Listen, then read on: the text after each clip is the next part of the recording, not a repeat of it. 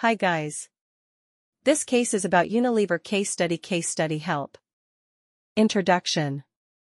Lifebuoy is the number one sanitization soap brand in the world, Bartlett, May 27, 2014. Lifebuoy offers its products in more than 100 countries. In the year 1894, Lifebuoy launched the first hygiene soap in red color in their expedition for better hygiene. The products of Lifebuoy are affordable with higher quality. The program Lifebuoy arranged in 2010 was the best customer attracting or behavior change program in which the company reached over 0.1 billion people and advertised its soaps and hand washes. Lifebuoy understands the needs of customers and offers products with additional value propositions that satisfy the customers. The KKD initiative must be aligned with the objectives of Unilever. The sustainability goals of the company are to promote hand washes, improve well-being and health, and also to reduce the environmental footprints. The payback period for the Lifebuoy is 8.6 years.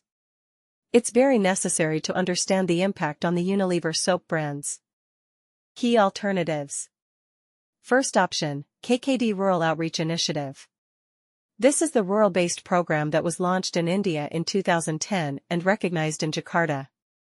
This initiative was the replacement for the Health Awaking program. The Health Awaking program faded because it generated unexpected outcomes for 10 years and also it increased the marketing expenses of Unilever. The KKD Rural Outreach Initiative aims to bring happiness to the corporation because it is a collaborative multi-brand effort including the managers of detergent powders, toothpaste, shampoo, dishwashing liquid, and Lifebuoy Soap joined the funds for the creation of a direct contact program to reach the rural areas with all the product portfolio of the company, Susantai et al. 2021. This KKD program directly targets the housewives and the sales teams who visit the villages and offer the products.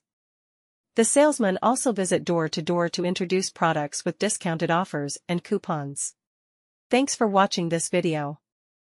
For more case studies, please visit our website, thecasesolutions.com. Also like and subscribe our channel The Case Solutions.